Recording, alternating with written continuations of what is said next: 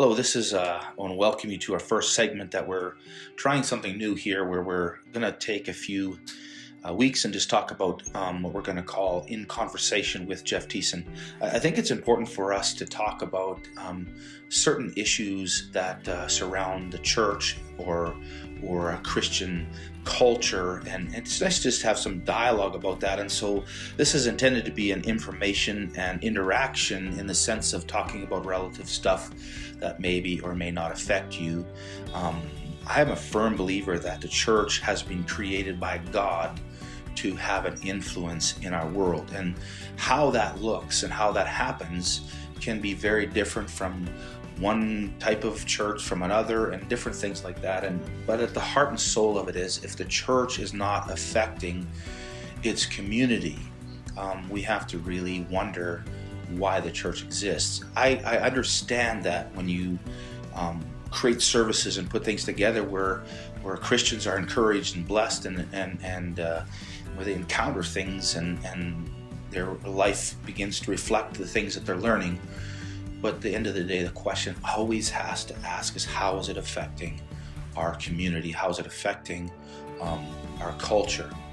And that's something that's really um, weighs heavy on my heart as a pastor and as someone that's concerned about, you know, the message of Jesus and, and how we um, portray that to uh, our community. I believe our community is um, one of our greatest focuses we have. And so when we talk about how we accomplish that, um, we have to take into account how we interact with people and what our values are and things like that. And so values are important. I get that and I understand that. And but at the end of the day, we really need to ask the question what really matters in our society, what really matters in our community. And I think if we take an approach where we start looking at our Christianity through the eyes of Jesus, because I get great inspiration um, through uh, how Jesus demonstrated his life. Because when you really look at it, Jesus probably spent over 90% of his time outside the four walls of what we would consider church and the synagogue in that day. Most of Jesus' miracles were always done outside the four walls. And so, I, as a pastor, I, I, look at what we do in our community, um, how much of our ministry is designed for people outside the walls. And now, don't get me wrong, I believe in discipleship, I believe in training, and all those things are important.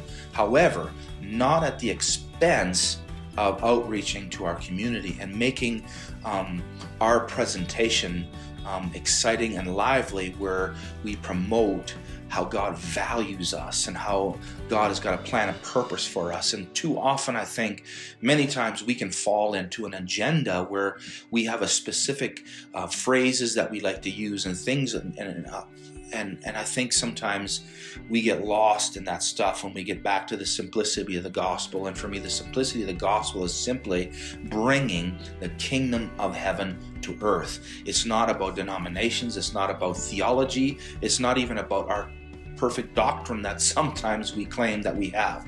It's about bringing the kingdom of heaven. And again, we need to go back all the time to see how Jesus demonstrated that and how he cared for people outside of his cultural bubble and how he began to engage people purposely that thought different than him and that often lived different than him. And and how Jesus did that is so um, encouraging because I think when you truly love people more than you do your doctrine, I think then you have an opportunity to create a platform in which you can share and be able to um, make God's life alive to those around them. And so, one of the things that we want to take in these conversations, and we want to talk about some tough issues. We want to talk about some, you know, things that have defined the church and how I think where the church needs to be challenged. And not only that, but to be rethink how they do things because I think too often we create a culture within a culture and we expect the world culture to understand our culture and fit in with our culture and our understanding of things when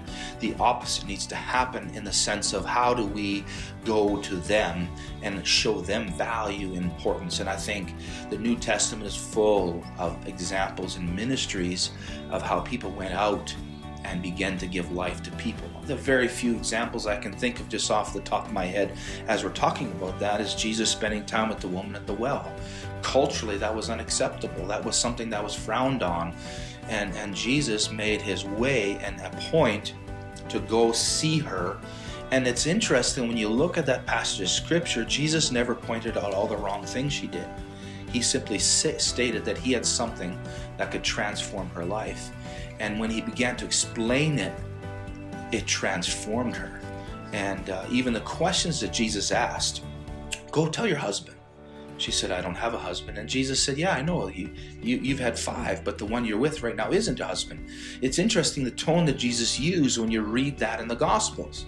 He didn't say that in a condescending way or a way that confronted her sin or her patterns of choice, but rather it affirmed her honesty. And in spite of the choices she made, Jesus reached into her life and gave him the life that he knew would transform her. In fact, it had such an impact on her that she went back to her village and began to share who this Jesus was.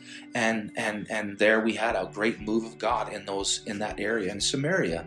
And I think if the church needs to really embrace that type of ministry where we stop using labels of people and we stop looking at what people do and the choices they make and begin to ask for strategy and how we can effectively bring his kingdom to their lives. Because at the end of the day the thing that transforms people is not my doctrine is not my belief system is not my church or the four walls of the building that i happen to be regularly in. But rather the thing that transforms people's lives and we need to understand this it's the kingdom coming alive in them and we got to learn to, to stop putting these cliche things and and these expectations on people that don't understand our way of thinking. And we have to learn to release those things and begin to pull out the things that god's already put in them. Because i believe um, they have um, things that god has poured into them and as a result of that, we have the privilege to start pulling those things out. So I think the church needs to be challenged and, and understand and try to under uh, work through the culture that it brings. And we need to begin to relook at how we do ministry because oftentimes we can say, well, we're evangelizing. Those words our culture does not understand. But when you talk about building relationship and valuing people, I'm telling you that changes the whole landscape of how we approach people, how we speak to people, and how we treat people. And I think we can have a lot to learn when we walk through the New Testament and see how God interacted not with the religious people, how he reacted with those that were yet to discover what God had available to them and, and, and that's where my heart is as we um, strive and i don't even like the word strive we purpose to uh, engage people and to love people where they're at because we believe the message of jesus is so awesome and so incredible that we want to go out of our comfort zones and our bubbles and make the kingdom of heaven alive in our community. So i hope that makes sense and uh, I'm glad you were spending some time with us. And these are just going to be eight, nine minutes of just um, off the cuff conversations